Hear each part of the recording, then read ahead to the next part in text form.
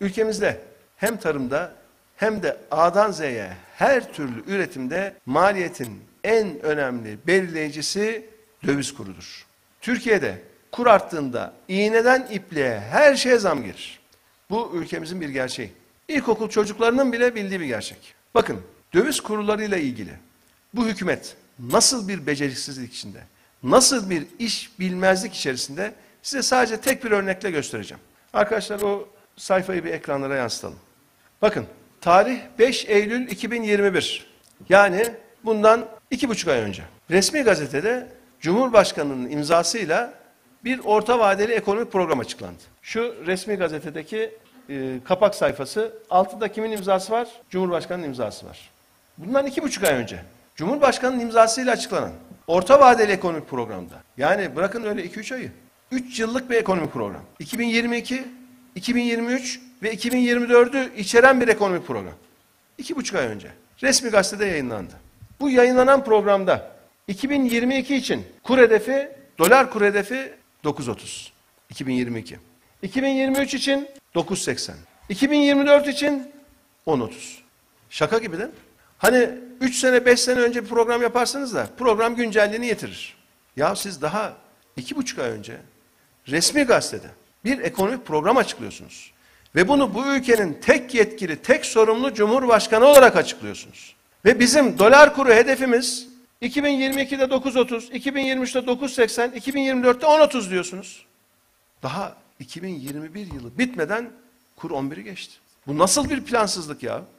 Bu nasıl bir hesapsızlık? Bu nasıl bir iş bilmezlik? Böyle bir ülkede insanlar önünü görebilir mi?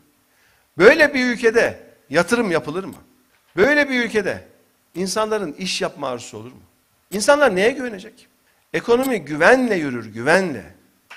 Güven olmayınca ekonomi olmaz.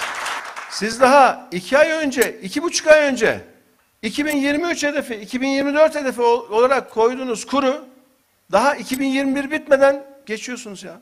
Böyle bir şey olabilir mi? İnsanlar güvenmeyince ekonomi asla düzelmez. Asla. Faiz talimatla düşmez.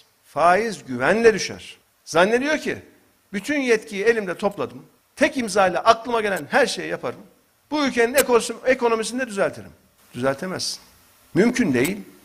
Çünkü anlamıyorsun. Bilmiyorsun. Bir dönem bu ülkenin ekonomisi bir başarıdan diğer başarıya koşarken bu başarının altında ne vardı? Bu başarının sebebi neydi? Bunu kusura bakmayın da inanın anlamamış. Çünkü bilse gene yapar. Niye yapmasın? Ya bu ülkenin Cumhurbaşkanı ekonomi kötüye gitsin ister mi? Aa seçim geliyor. Bozulmuş bir ekonomiyle, bir krizle ülkenin seçime gitmesini ister mi? Ama yapamıyor. Düzeltemiyor. Bilmiyor. Bilenlerle de çalışmıyor. Bakın şu son 20 yıllık siyasi tarihimize bakın. Ekonominin en başarılı olduğu dönemlere bakın. Bir de başka alanlara bakın. Herhangi bir alanda hasbelkader düzgün işini bilen bir bakan göreve geldiyse o alanda başarı oldu. Ama yanlış bir isim göreve geldiyse Türkiye tıkandı. Örneğin eğitim. Hiçbir şey olmadı. Yıllar geçti hiçbir şey olmadı bu ülkede.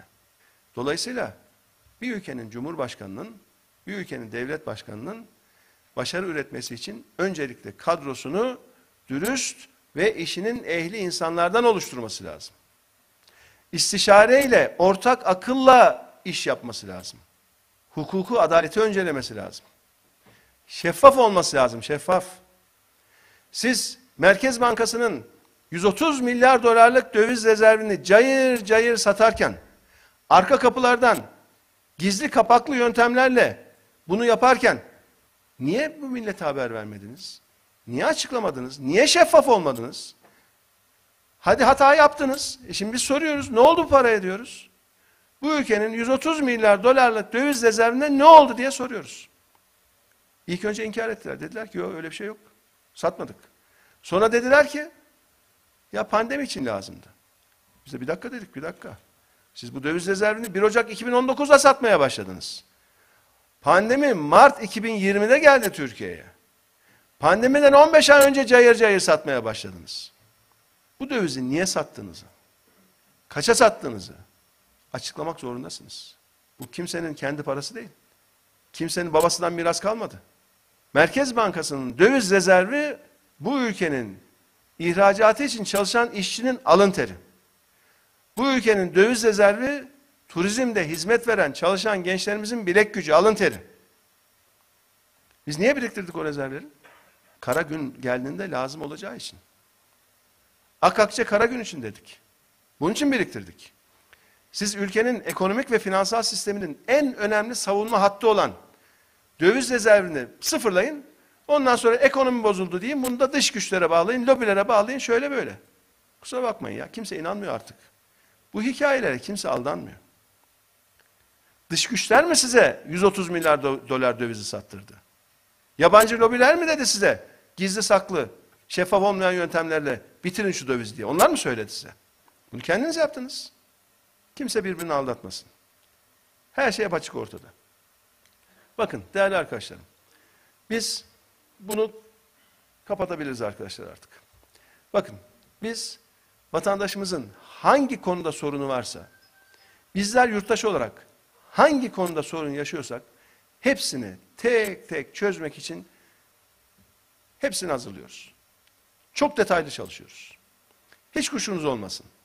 Türkiye artık bir yol ayrımına geldi. Bu karanlık tünelden çıkışın artık ışığı göründü. Deva Partisi'nin emaneti teslim alma zamanı geldi çok az kaldı. Değerli arkadaşlarım inşallah hep beraber Türkiye'nin her sorununa deva olacağız. Hep beraber.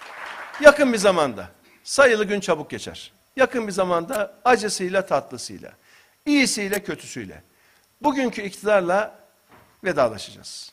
Müsait bir yerde inecekler. İşte o gün değerli arkadaşlar bizler işin başına geçeceğiz.